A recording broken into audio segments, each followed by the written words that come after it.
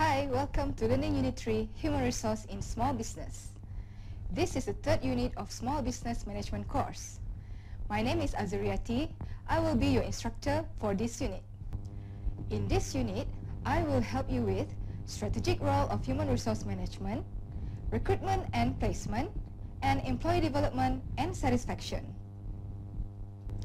On completion of this unit, you will be able to first explain the concept, techniques, and tools of human resource management in small business context. Second, describe the importance of effective human resource management in small business. And third, understand different strategies in managing human resource in small business context.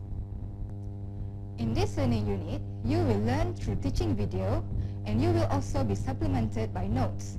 You can download the notes from our online platform. In addition, there will be an online activity to enhance your understanding about the topic. For this unit, you will be assessed through short quiz. Thank you for watching. Stay curious and keep learning.